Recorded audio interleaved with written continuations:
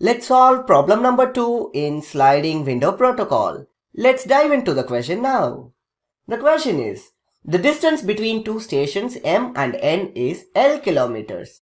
All frames are k bits long. The propagation time per kilometer is t seconds. Let r bits per second be the channel capacity. Assuming the processing delay is negligible, the minimum number of bits for the sequence number field in a frame for maximum utilization when the sliding window protocol is used is. Options are given and we are required to find the minimum number of bits for the sequence number field in a frame when sliding window protocol is used. And this is a GATE computer science question which was asked in 2007. Before solving this problem, I request you to have a sound knowledge about the latency or delay and round trip time RTT. So I request you to watch my previous lectures for better understanding. Let's revisit this question again. What are the given data? The distance is of L kilometers and the frames are k bits long.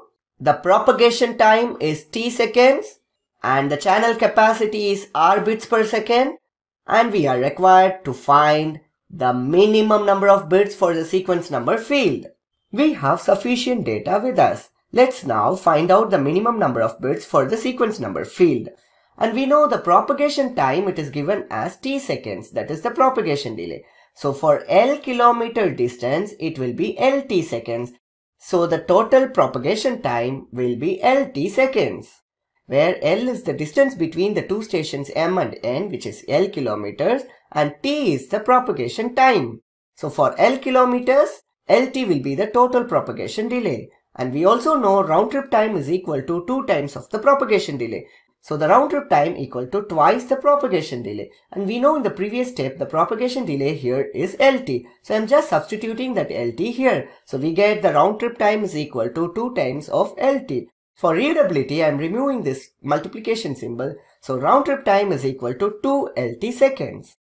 So this round trip time is for a single bit. In the question we have r bits. We have a total number of bits transmitted in round trip is 2 LTR bits. And we know all frames are k bits long. The number of frames will be 2 LTR divided by k. Yes, so the number of frames is equal to 2 LTR by k. We have already seen in the previous lecture titled Sliding Window Protocol, we know the number of frames will be in the power of 2. Let the bits in the sequence number be b and we know the number of frames will be 2 power b. 2 power b is equal to 2 LTR by k.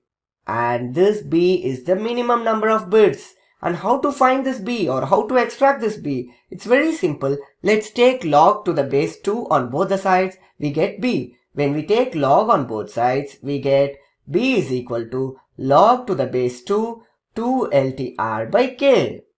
And we found the answer for this problem. And we know the answer for this problem is option B log base 2 to LTR by K. I hope you guys enjoyed the session and thank you for watching.